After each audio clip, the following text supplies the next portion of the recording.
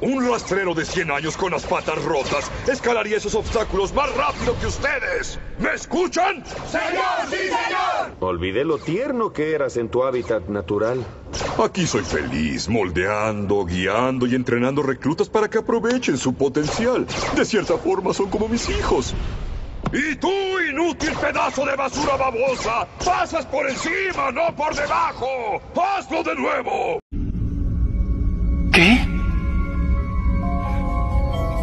Apa?